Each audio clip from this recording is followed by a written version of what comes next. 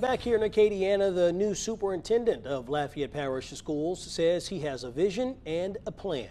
He also talks about his role as an Abbeville City Councilman and what's going to happen next. News 10's senior reporter Renee Allen has more. Francis Touchet Jr. says he's grateful for his new role and for the people who put him there. The name Francis Touchet Jr. will come to be a familiar name around the corridors of the Lafayette Parish School System as he embarks on his new role as superintendent. I want to give thanks to uh, my mentor that uh, prepared me for this, Ms. Irma Trosclair.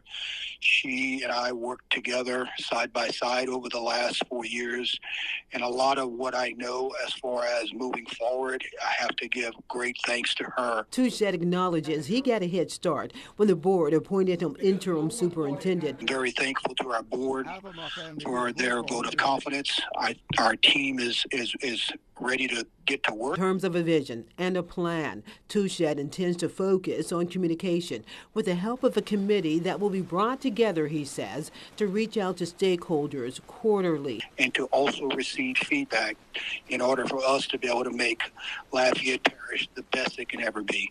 Currently, Touchet is an Abbeville City Councilman elected to six consecutive terms. He's Abbeville's Mayor Pro Tem and Finance Chairman for the last 21 years. Uh, I think that we have been fiscally responsible with the taxpayers' dollars. We have done great things as far as doing what we can with the monies that we have available.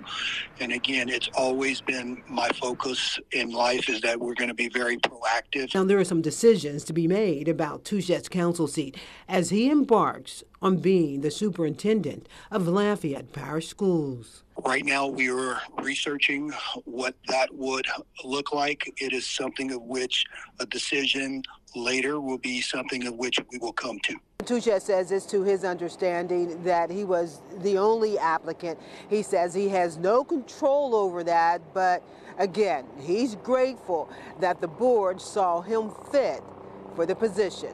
Renee Allen, KLFY News 10.